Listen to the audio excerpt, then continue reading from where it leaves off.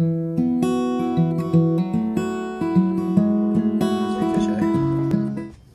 friends, today I am going to be opening a package from Untitled Skateboards for myself and then also some of the boards are for Battleground. And then I got from Tod from eS, he sent me some ramp stickers, so I'm excited to see those, check those out. And I have some buddies over, we're skating the ramp, so after the after we open all this up, I might get some tricks for the ramp. All right, let's see what's in it. We'll start with the Untitled package first. See what Jud sent me.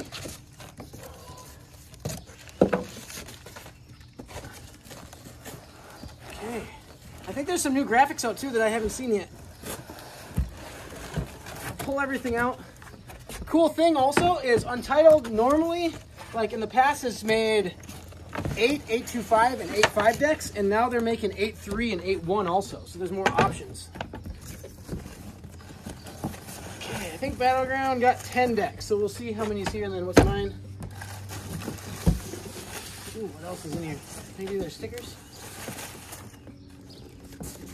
Not today, just an invoice for the park.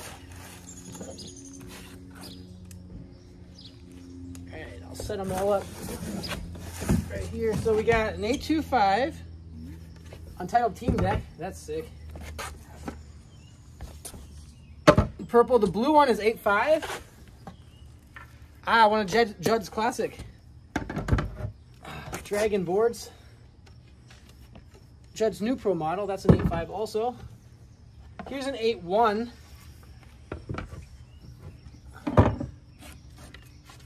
Eight two five, Tim Byrne. Oh, an eight two. This is sick.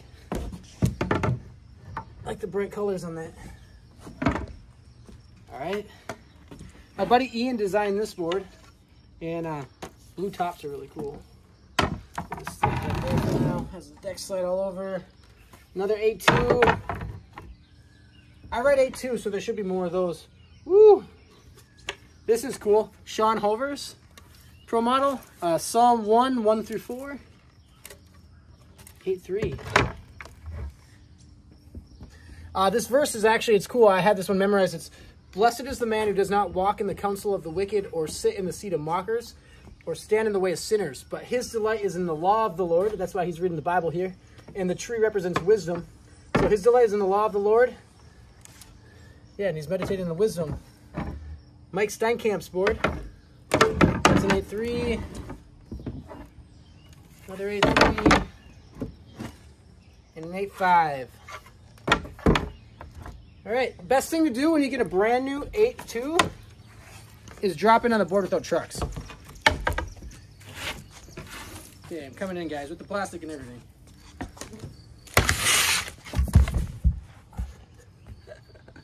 Okay, let's check out the eS, those eS stickers too. Now it looks like I, like I can be a poser and it looks like I can do tail slides, even though I haven't done one yet. okay, a bunch of stickers and then these classic eS stickers that I can put some on my ramp.